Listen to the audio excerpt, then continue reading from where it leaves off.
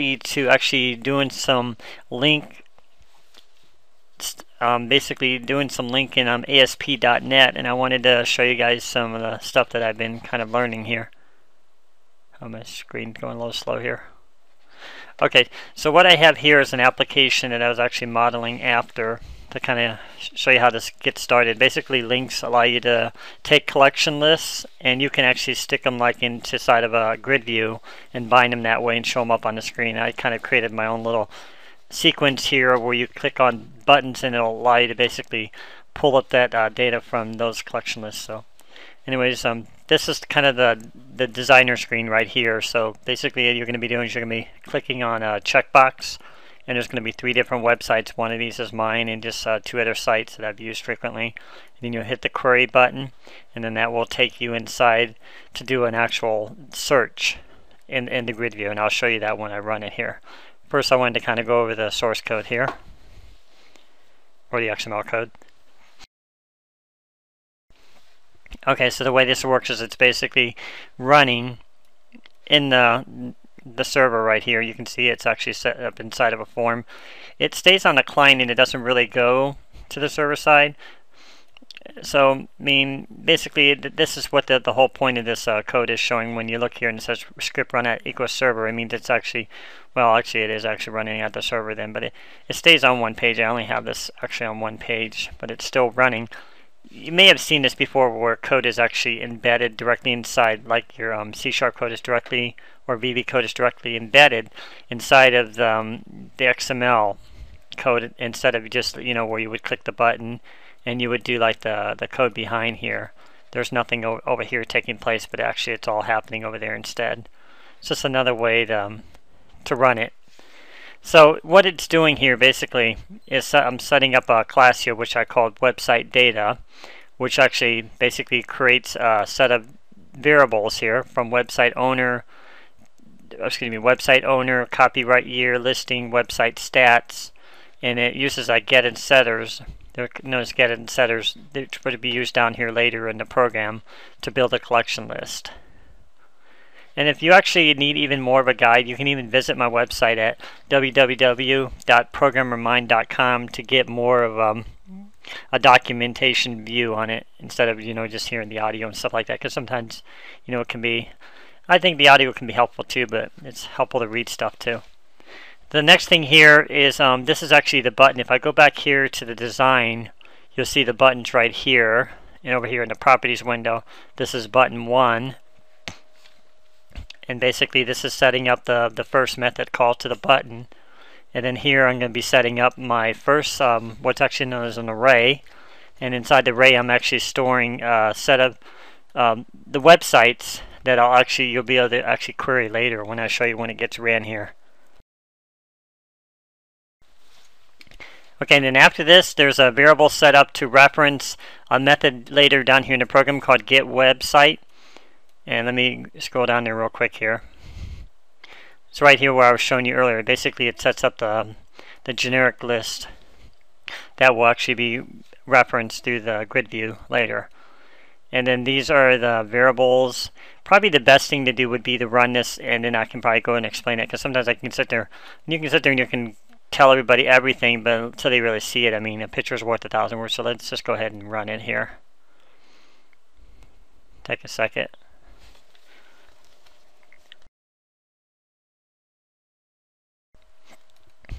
Have a million boxes open here, so I'm going to shut some of these. Okay, so what this is actually doing Okay, what this is actually doing, as I mentioned earlier, is you would click on a button here, and it's going to access the, the data that's put into those collection lists.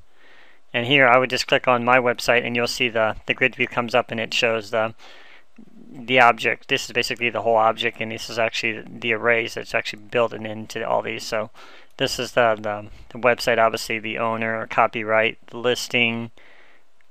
Actually, you know, I should have probably changed that out, had that for something else. But this is the the website stats. Basically, it's um showing you the the time and everything and stuff like that. So the date and the time actually. So okay, and then the next thing here is um just to play around. Let's go ahead and uh, well, I know what this is actually. This is the year I think or something. Anyways, just go ahead and click on another one. It'll switch out. This is just another different site and you notice how it's changed when I click the button there. And of course if I click the other one, it's going to change to the third one. Now the nice thing about this is you can even select more than one. It'll actually bring them back up on the screen or all three of them. However you want to do it. Okay, so you've seen that running. That's basically what it's doing. It's accessing the controls and everything's being commanded directly here from the checkboxes. So let me go ahead and skip back over to ASP here. I'll keep this on the side if I need to explain something too. Okay, so where I left off here, as you've already seen just by running this, this is basically um, picking up, what it's doing is it's doing a scan for these areas, for the website areas. So any of these three areas, you'll see these are right here. And these are being scanned to determine which checkbox you're clicking on. And that's a little bit farther down here. If you look here, you'll see this is a checkbox 1. So basically it's going through a for loop here, and it's cycling through the array that we set up right here. Notice the array is called website array, and down here it's website array. So 0 basically means it's picking up the first one. This is 0 right here. And then this 1 is this one right here. This 2 is obviously this one. That's because the array started 0. So 0, 1, 2. And then once it once it does that, it scans the array. It basically adds it to a collection list, which allows you to, to see it as it continues to build it here. And then it shows it in a grid view later here. Now I could have just stuck a series of grid views here, but I didn't want to have a lot of repetitive code, even though some of this is still repetitive like this. Um, I'm kind of that person who really likes to cut back on efficiency, so I set up my own little method here called show grid view. And it basically, it's an overloaded method and it, or overload constructor and it passes this direct excuse me overloaded method it passes this directly into the search array which basically the search is picking up what was in I showed you down here which basically picking up in the collection list down here and there you also notice this is called the generic list so going down here this is the method that's set up and all it's basically is just binding everything to the to the um, excuse me the grid view through the, um, the, the, data that's found in the collection list and it's passed basically by reference to this uh, object. I had a little bit of trouble this first because basically I tried to like do something like this. Just kind of show you. And you get nothing but error messages because it's not actually trying to pass a string, it's trying to pass an object. So if you ever have that, let me see if I can actually run it. I don't know if you're going to be able to see this error message. Actually, I have to enlarge this for you probably to see it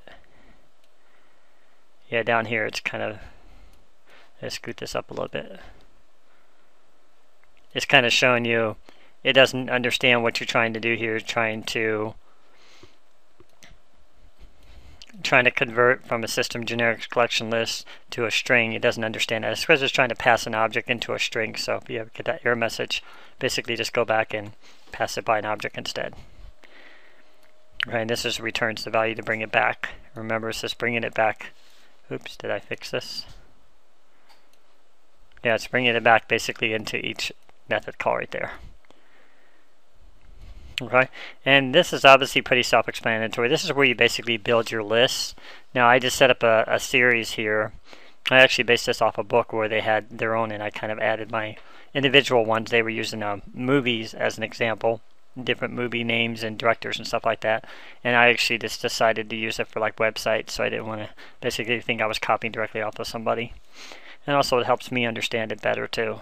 So, and this just returns basically best returns the value basically here into the list here, which is actually passed off to the the method. And that's um, pretty much how this uh, one works. It's pretty basic for a LINQ example, but LINQs are pretty cool. I mean, think about it. You can sit there and build all this data, then instantly pass it into here without having to basically pull it from a database or something like that. So it works pretty efficient. You can use it for searches, and there's a lot of other stuff you can do with it, but this is kind of just a tutorial. I'd probably say a beginner tutorial on LINQ, because basically this was like the first part of the LINQ chapter of the book I was reading book is actually called ASP.NET 4 in C Sharp and VB. And it's actually written by uh, Bill Evjen, Scott Hanselman, and Divine or Devin Rader. So those are the people. Anyways, um, if you have any other questions, just let me know. You know, uh, feel free to go ahead and leave it in the comments. You know, I'll always be happy to go ahead and reply to you. Or like I said, just um, welcome to, to visit my website. You know, let me just pull it back up here to uh, show you real quick. I have another video on this, but right here basically and then modified it a little bit better here if you go to the website you notice it it's been changed so I added some a new logo stuff like here and if you also I kind of expand this tutorial a little bit if you wanted to see the tutorial link here I actually I created a new section here on the website which is basically called what's new? And in this section I'll, I'll keep you updated with the stuff I add. So here I just basically included the new link page. You just click on it and it'll take you directly to that section. And this is basically everything I just went over here with a little bit more detailed explanation. So thanks. And if you're interested in this uh, channel please go ahead and subscribe. Thank you